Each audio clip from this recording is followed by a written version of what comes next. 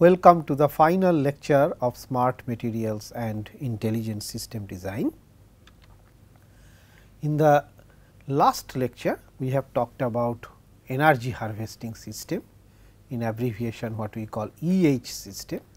I have talked about the applications, I have talked about how to design a piezoelectric energy harvester, a simple linear model concept of a basic energy harvesting system.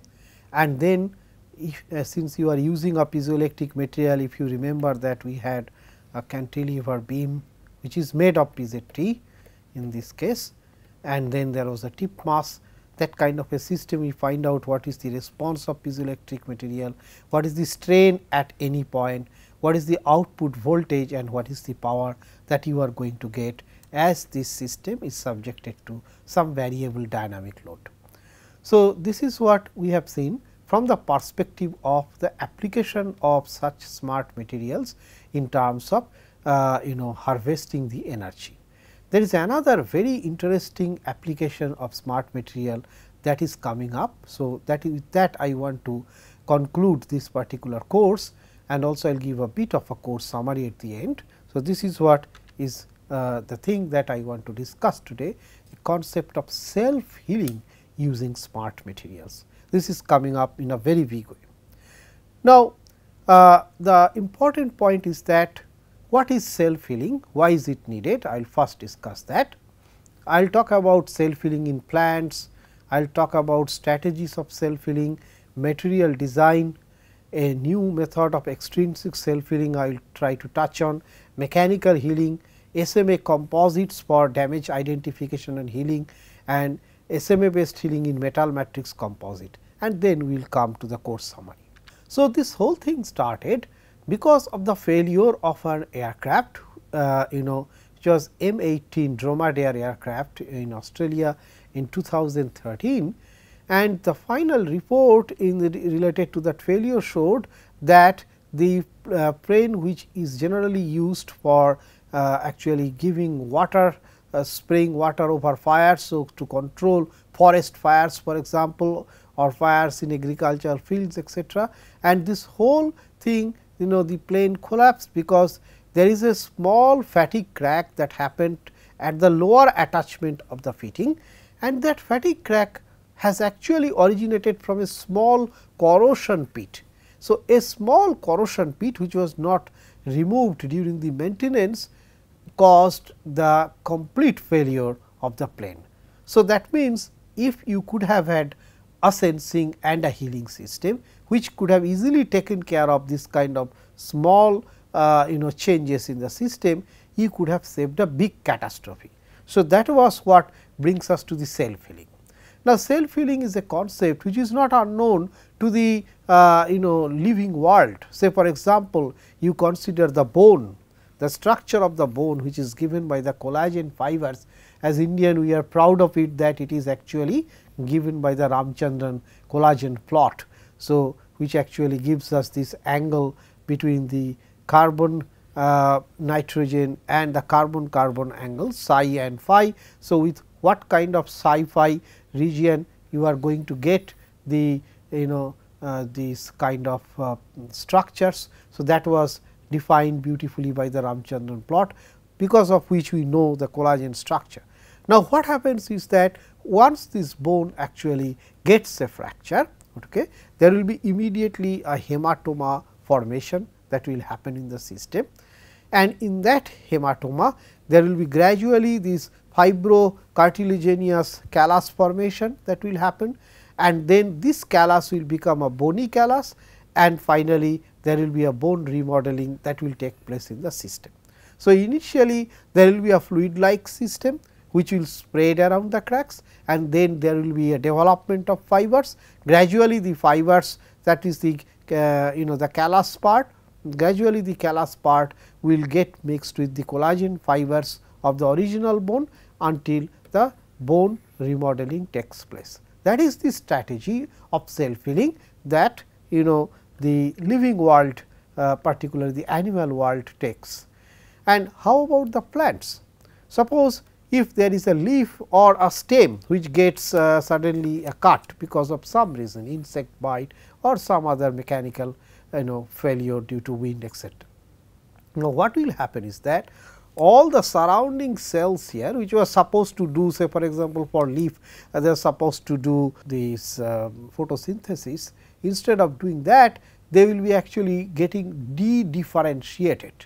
The de-differentiation will actually make these cells coming back to something which is like pluripotent cells which are like stem cells in plants. So, that they can take then any form and then these uh, cells will uh, be, have the capacity to actually grow and develop all the cell layers that you know would be there that would be there in the original thing, because now they have to rebuild the entire system. So, instead of a special role of photosynthesis, they will de-differentiate to a pluripotent cell and carry out this formation. These for example, the hypocotyl you know uh, type of things. Now, uh, another type of strategy that plants use that is also you will see that people have kind of got that in a bio inspired design I will soon talk about it is when the sclerenchymas in a uh, kind of a plant during the growth actually gets crack in it.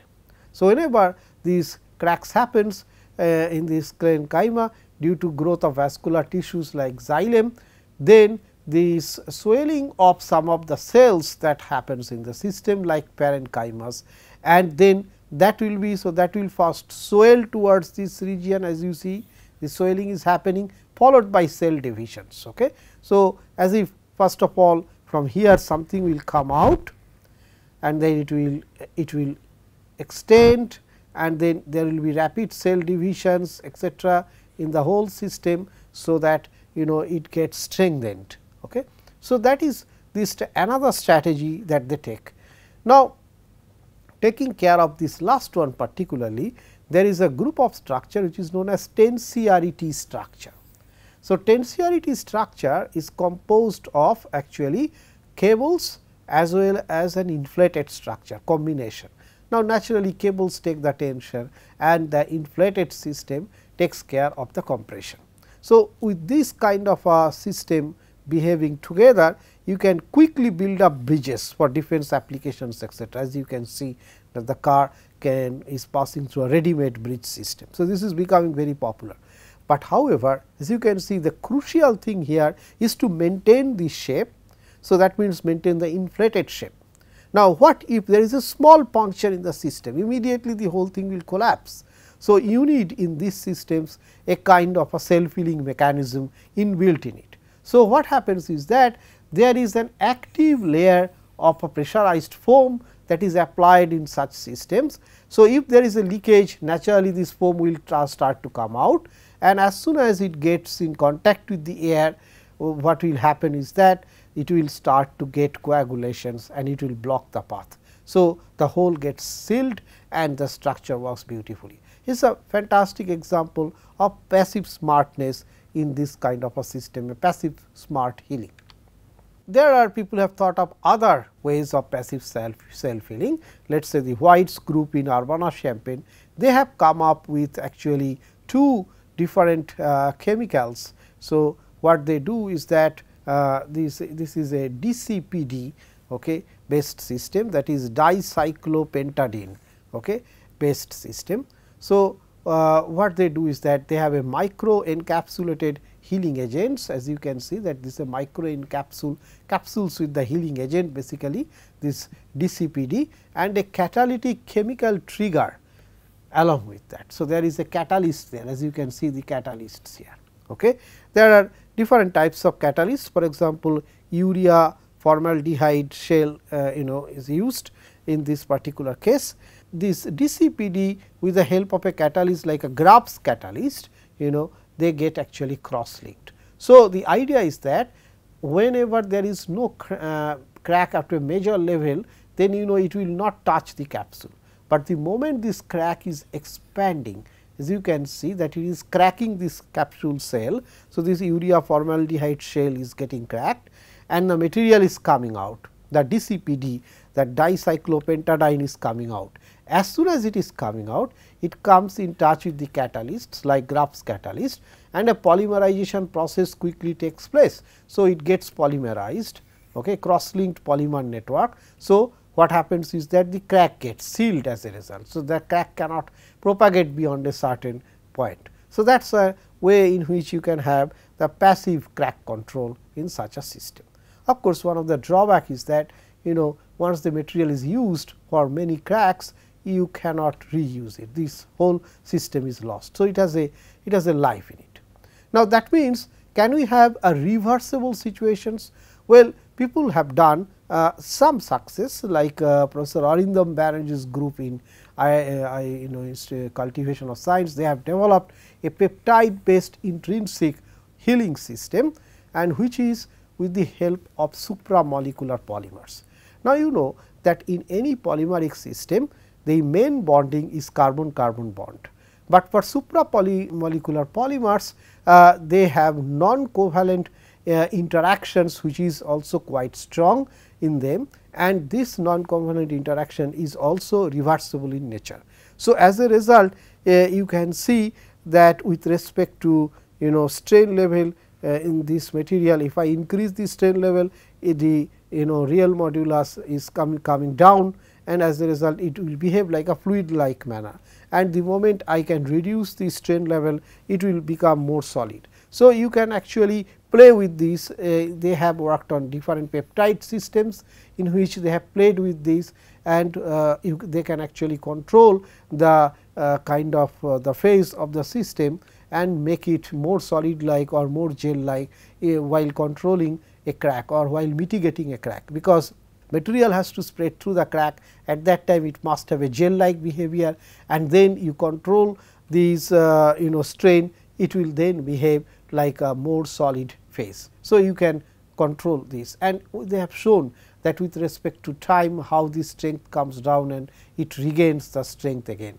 So, this is a beautiful you know situation that you can control with the help of supramolecular polymers. They have developed specific you know peptides towards this, but this is this we are looking for some engineering applications of these systems. There are other ways also of passive techniques like vascular self healing.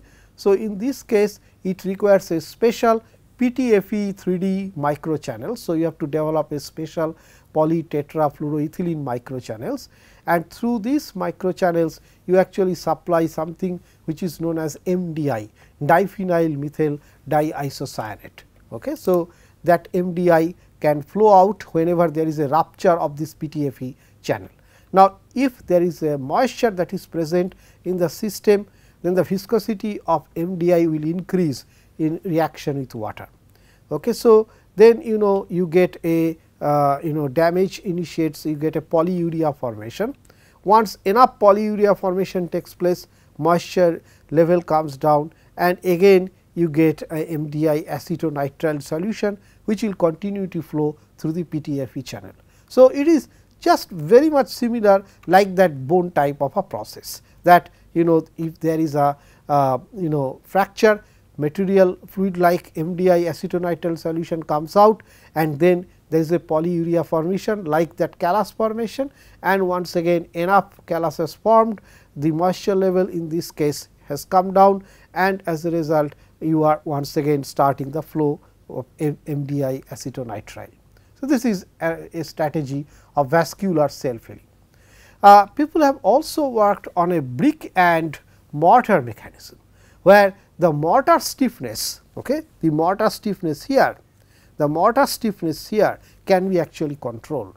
So, this thin mortar layer uh, uh, through that you can control the movement of each one of these bricks actually. The brick is used as a glass strip and mortar used is actually uh, polyborosiloxane.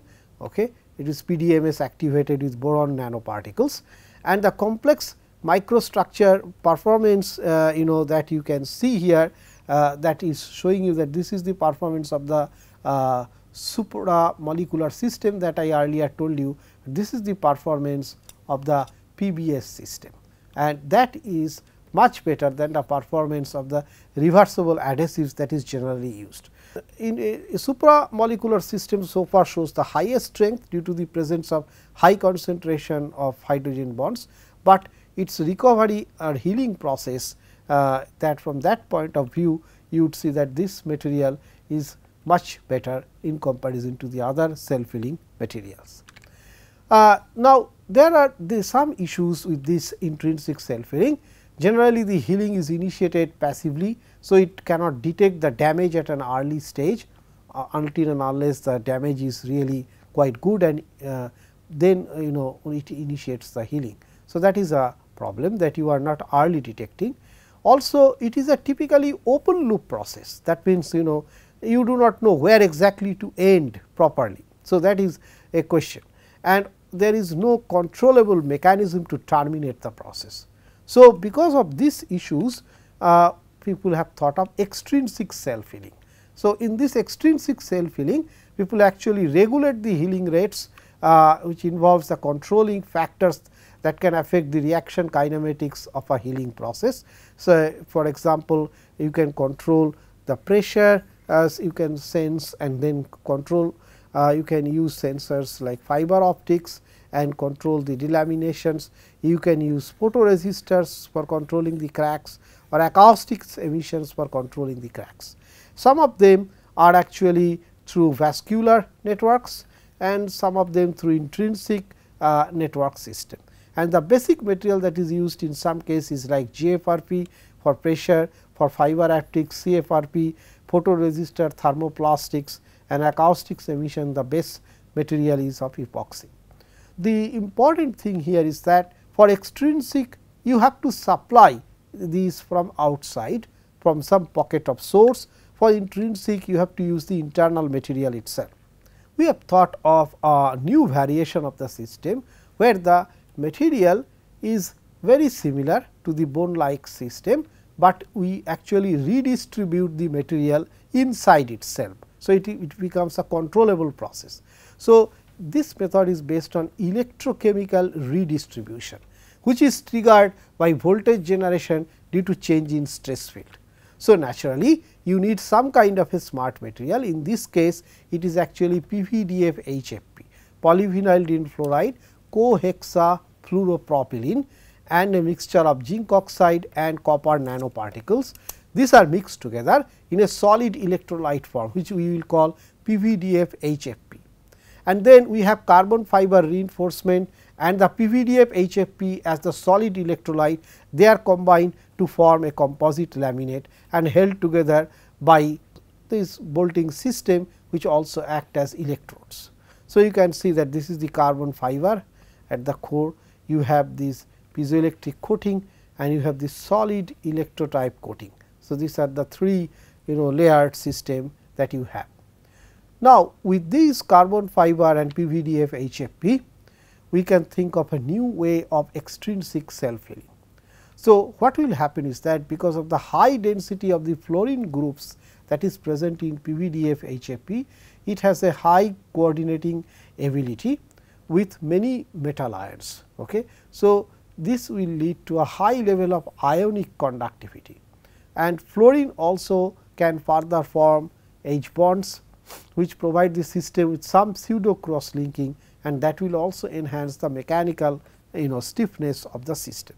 Here we explain a kind of a experimental system in which we have this basic you know system with the piezo film and a laser displacement sensor which is sensing the deformation in the aluminum beam okay, with a piezo film.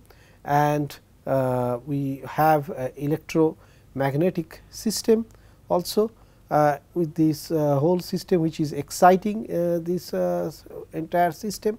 So, uh, with this you know we what we find is that there are you can actually find out that how you can initiate the damage in the system and how this damage is getting healed by the extrinsic self healing. Now, the way it happens is that wherever there is a concentration of stress piezoelectric dielectric effect comes into picture voltage gets generated. As the voltage gets generated then there will be electrolysis that will happen because of a threshold voltage and that electrolysis is the key thing in terms of the self healing.